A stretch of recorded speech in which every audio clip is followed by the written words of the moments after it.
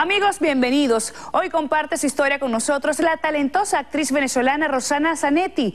Rosana asegura que su paso por el colegio estuvo asignado por momentos maravillosos, pero ya entrada la adolescencia, la violencia y el chalequeo dejaron a su paso profundas huellas.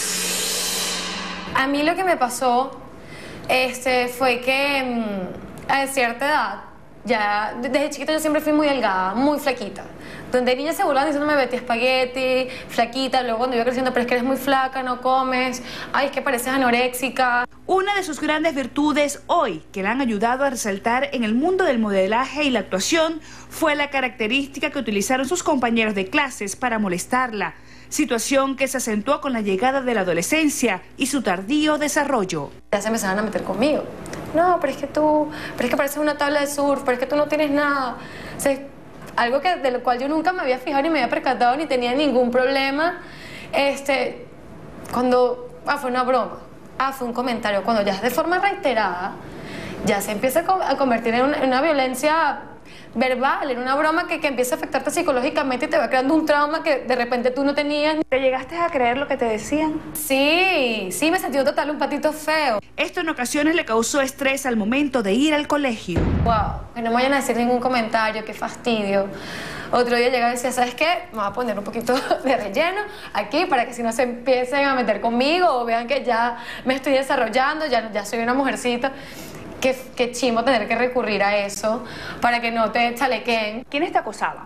La persona que más hacía violencia hacia los demás, la que más se burlaba, la más cruel, era la más gordita del salón. Rosana recuerda que no era la única que pasaba por estas situaciones que al final se convertían en un espiral de violencia.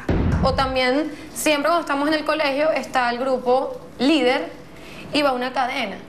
Entonces, cada uno se va metiendo con el, eslabón más débil más débil. Claro, no se metía conmigo y yo de repente como meto defensa me burlaba el que era más débil que yo. O de repente como ese era el grupo líder o estabas con ellos, estabas en su contra. Y obviamente prefiero estar de este lado para que yo no sea el foco y no se metan conmigo y sea otra persona. Y eso es terrible, porque de manera indirecta te estás convirtiendo en, silenciosa, estás no opinando, no, no, no, no diciendo nada de manera silenciosa te conviertes en, un agresor. Los valores inculcados a Rosana en su hogar lograron que esta hoy emprendedora actriz pudiera superar las vejaciones y salir adelante, confiando en ella y persiguiendo sus sueños. Sé el bastión de seguridad de tus hijos y recuérdales siempre que valen mucho más que lo que sus acosadores le quieren hacer ver. Precisamente con Rosana queremos comenzar esta ronda de agradecimiento a quienes han decidido sumarse a nuestra campaña en contra del acoso escolar. Juntos lograremos una sana convivencia dentro de las unidades educativas. Al acoso, sácalo del juego.